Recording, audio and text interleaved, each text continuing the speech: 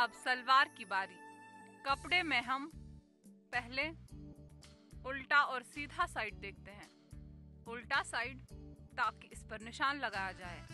ऊपर की तरफ़ कर लेते हैं।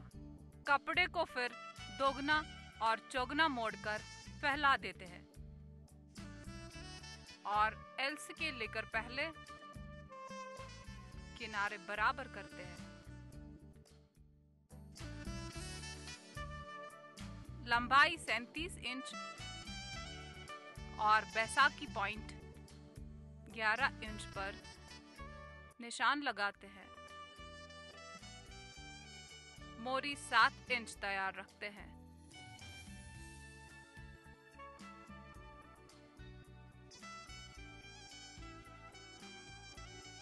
इसके बाद मोरी और बैसाखी पॉइंट को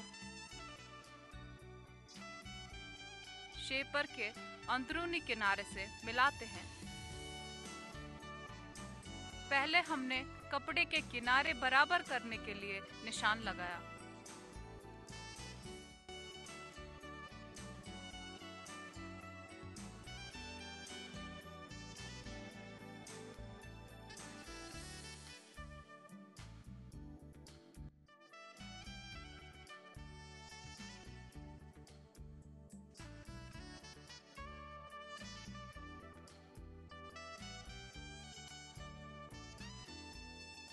अब हम कटाई कर लेते हैं।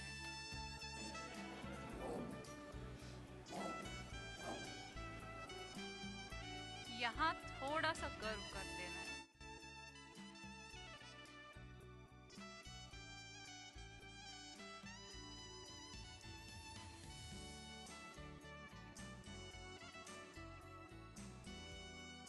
इसके बाद बैलेट काट देते हैं।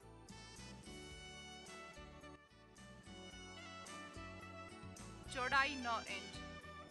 इसकी लंबाई जो है, वो हम 22 इंच ले लेते हैं।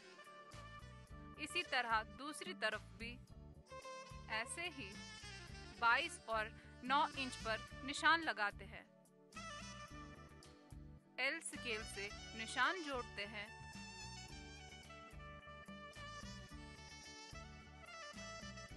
और अब हम बेल्ट की कटाई करते हैं।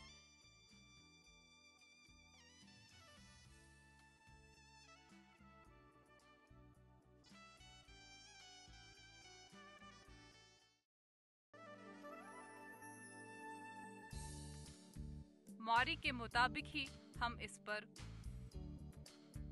जूड़े का निशान लगाते हैं।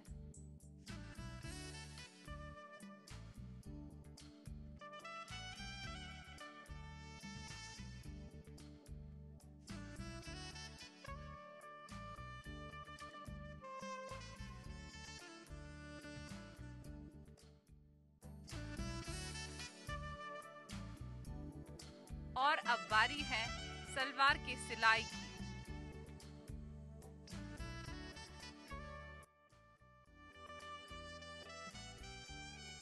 पहले हम शुरुआत बेल्ट से करते हैं। अब सलवार के दो हिस्सों को जोड़ते हैं।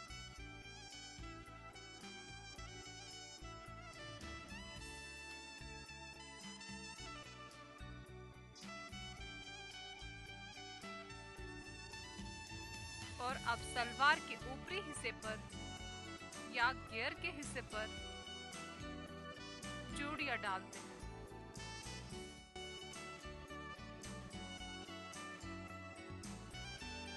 दो चूड़ियों के बीच में हम बराबर गैप देते हैं।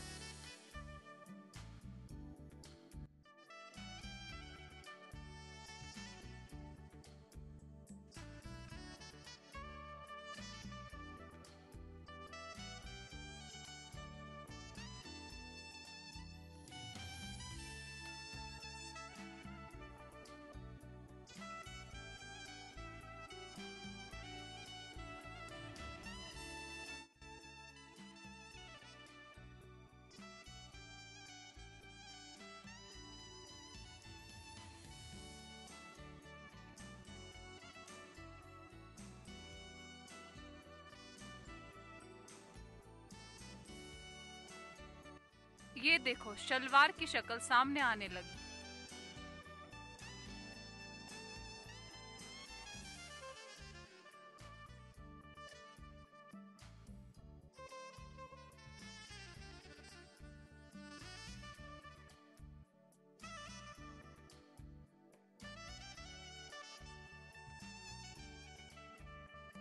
मारी के पीस को सलवार के साथ जोड़ते हैं।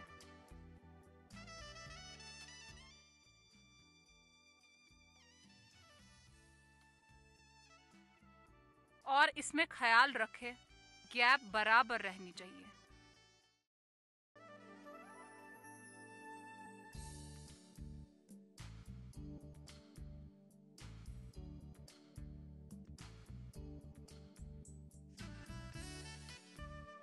अब सीधे साइड से भी सिलाई देते हैं।